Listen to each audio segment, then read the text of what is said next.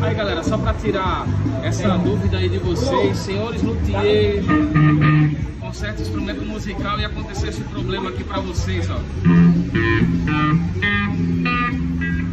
A corda sem som, tá vendo? A primeira corda, ó, um som bem baixinho. Vou mostrar para vocês o que, que é aí.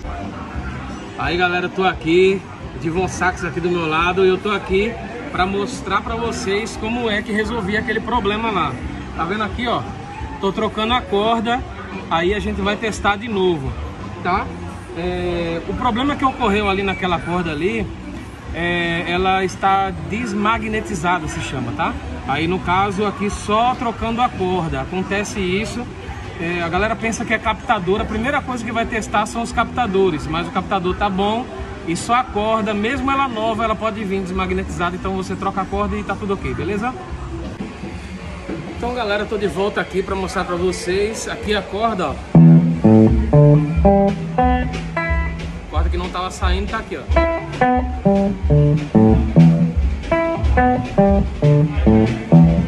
Fica a dica aí para você luthier, guitarrista, corda desmagnetizada, tá bom? corda não pegou, não deu som, troca a corda e vai ser feliz. Valeu!